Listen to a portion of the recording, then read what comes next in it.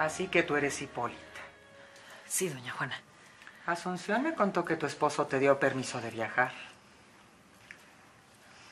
Desgraciadamente no te puedes quedar. ¿Por qué, señora? ¿Qué pregunta es esa? ¿Quieres que todos se enteren que tu madre dio el mal paso y parió una hija fuera del matrimonio?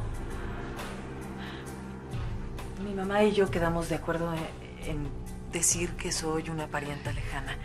Es un poco tarde para eso. Ya cometiste la estupidez de decirle a Martín que eres su hija. Y el tonto se lo contó a Luis.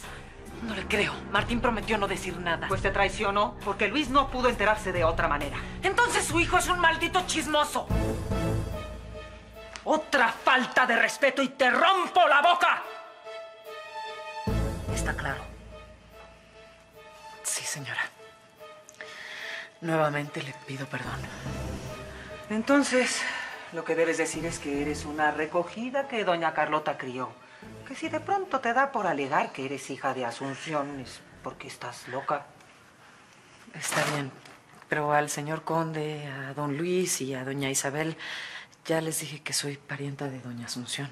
Yo me arreglo con ellos y tú no tendrás oportunidad de aclarar nada porque no los volverás a ver. En cuanto arregle un pasaje, te regresas a Panamá. ¿De acuerdo? No pienso volver. Por supuesto que sí. Tú no eres nadie para cuestionar mis decisiones. Y usted no es nadie para intervenir en mi vida. Hipólita, por favor. Doña Juana es una dama de respeto, ha sido buena y generosa. Mi esposo y yo le debemos todo. Y yo le debo mi desgracia. ¿Desgracia? ¿Cuál desgracia? Viviste con Carlota, te educó, te vistió, te ajuarió y hasta te consiguió un marido. Un afeminado que no fue capaz de hacerme mujer. Y una suegra que metió a mi cama a un mexicano. Que me desvirgó y me embarazó.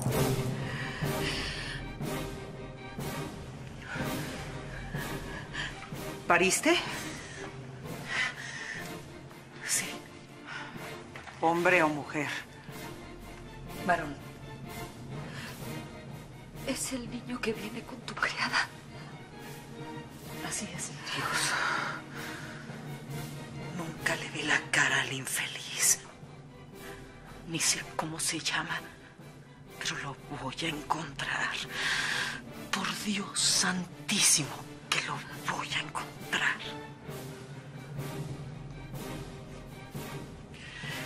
Ahora dígame, señora, ¿usted cree que voy a ceder tan fácilmente?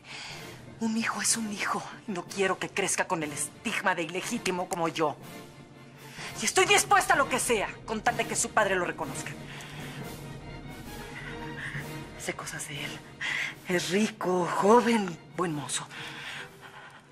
Y puede que su sobrino o su hijo, al conocer mi triste historia, decidan ayudarme.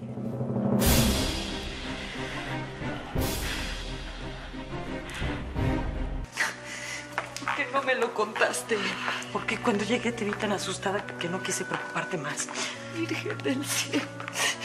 Tienes un hijo y no sabes quién es el padre. No tuve la culpa, te lo aseguro. Te estoy culpando, pero.